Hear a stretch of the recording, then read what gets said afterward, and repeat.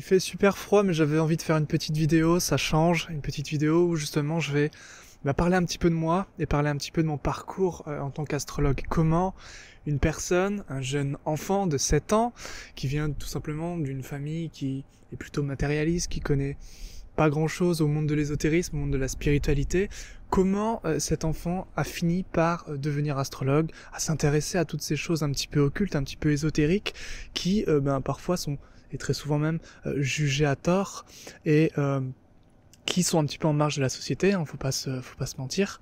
Euh, donc mon idée avec cette vidéo, c'est tout simplement bien de te partager un peu tout cela. Peut-être que ça pourra inspirer certaines personnes et peut-être toi qui regardes cette vidéo. Alors tout a commencé quand j'avais 7 ans, comme je viens de le dire, et l'idée c'est que je me posais déjà beaucoup de questions, j'avais déjà une conscience profonde euh, de ce qu'était la, vie, la mort. Euh, je me posais beaucoup de questions sur la mort, euh, j'interrogeais mes parents beaucoup, et mon père, quand je lui posais la question, qu'y avait-il après la vie, il me répondait la mort, et que nous allions finir en poussière d'étoiles. Donc déjà, il y avait peut-être cet aspect déjà voilà, au sein de, la galaxie, mais lui, il était vraiment très très euh, scientifique, un esprit très rationnel, euh, pas du tout euh, un esprit rêveur, un esprit poétique. Donc pour lui, c'était quelque chose d'extrêmement nihiliste, d'extrêmement triste, et je ressentais déjà sa tristesse quand j'étais quand j'étais môme, hein, vraiment. Et je me souviens, une des premiers, un des premiers souvenirs que je disais à ma mère, c'est pourquoi pourquoi papa est pauvre. Et pour moi, le, le mot pauvre signifiait triste. Je voulais entendre vraiment le mot triste dedans dans, dans cette signification. Désolé s'il y a un petit peu de vent, c'est euh, les lois euh, de, la nature. Alors tout simplement après, euh, comme cette, cette question, cette réponse ne me convenait pas, eh bien j'en parlais tout simplement à ma mère. Et ma mère me disait, me disait qu'on était tous les deux immortels.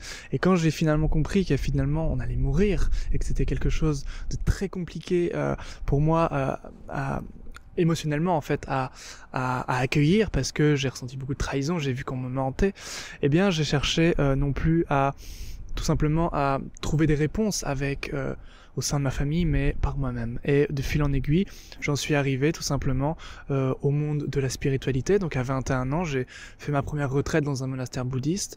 J'ai rencontré un, un, mentor qui m'a appris la science du yoga. Et de fil en aiguille eh bien tout simplement je me suis dirigé vers euh, l'astrologie indienne et vers l'astrologie occidentale traditionnelle. Aujourd'hui, c'est énormément décrié. Mes parents euh, sont les premiers hein, euh, à, dire que l'astrologie est quelque chose qui n'est pas du tout rationnel, qui n'est pas du tout logique, et du coup que c'est du flanc.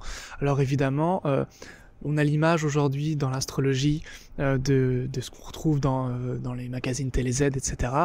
Évidemment, ce n'est pas écrit par des astrologues, c'est du flanc, et ça c'est véritablement du flanc, pour ainsi dire. Et euh, l'idée, c'est que, eh bien, oui, on peut se sentir seul, surtout quand euh, des disciplines sont décriées comme bien sûr l'astrologie l'est, euh, mais souvent ce que j'ai remarqué en plus, c'est que des gens jugent, ont un point de vue, tout le monde a un point de vue sur tout, alors que tout le monde ne sait pas tout en fait. Et ça, c'est quelque chose qui est extrêmement typiquement humain, c'est-à-dire c'est vraiment dans la nature humaine d'avoir un point de vue, mais ce n'est pas un point de vue réfléchi et profond et raisonné, c'est simplement euh, un, point de vue, un préjugé en fait. Et beaucoup de gens ont effectivement un avis sur l'astrologie alors qu'ils n'ont jamais étudié l'astrologie.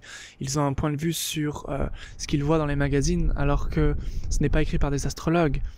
Et effectivement, euh, même ceux qui parfois ont tendance à à approfondir un peu cette question, eh bien, euh, se trompe en parlant par exemple d'effet Barnum euh, pour l'astrologie, alors que si euh, une personne vient me voir et je lui dis bon bah vous avez un, un, problème au niveau du genou gauche, c'est quelque chose quand même très précis. Elle me dit oui ou non. Il n'y a pas d'effet Barnum là-dedans.